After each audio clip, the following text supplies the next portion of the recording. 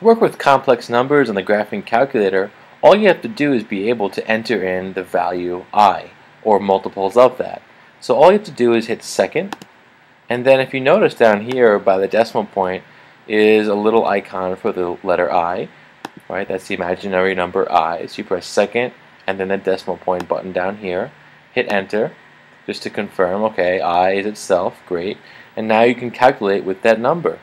So, for example, a common calculation is to take, let's say, a real number 3 plus, let's say, i, and multiply it by, I don't know, 3 minus i.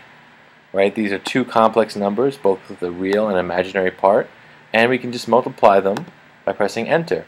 And there you can see that the answer is 10. Just deal with it as you would um, with regular numbers in the graphing calculator. Just enter in the value i when you need to. Alright, hope that helped.